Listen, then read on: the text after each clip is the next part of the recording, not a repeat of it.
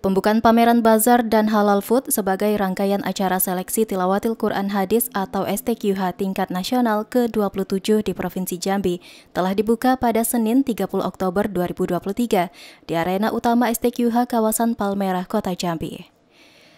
Kegiatan ini dibuka langsung oleh istri Menteri Agama Eni Yakut Khalil yang ditandai dengan pemotongan pita dan kemudian dilanjutkan dengan kunjungan ke stand pameran bazar yang tersedia. Dalam hal ini, Dinas Koperasi dan UKM Provinsi Jambi turut meramaikan stand bazar Provinsi Jambi dengan menghadirkan berbagai produk lokal unggulan di Provinsi Jambi, seperti batik, songket, perhiasan, kerajinan tangan, kopi wo ijal, dan berbagai makanan ringan oleh-oleh khas Jambi. Kepala Dinas Koperasi dan UKM Provinsi Jambi Sardaini mengatakan, sebanyak 58 unit stand pameran dan sebanyak 80 unit stand bazar UMKM terisi dalam pameran bazar tersebut.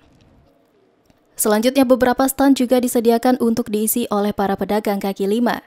Menurut Sarda ini, ramainya partisipan dalam event nasional ini diharapkan dapat mengenalkan produk lokal Jambi sebagai tuan rumah serta membangun kerjasama antara Provinsi Jambi dengan provinsi lainnya, terutama dalam pengelolaan dan pemasaran regional produk UMKM.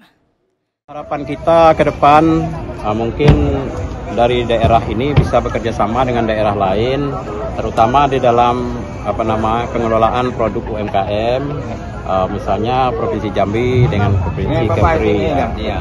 Kemudian juga provinsi yang lain dengan provinsi yang lain itu dalam pengelolaan uh, UMKM perizinan mungkin untuk apa namanya eh, regional uh, apa namanya pemasaran secara regional mungkin uh, juga antar provinsi mungkin barangkali.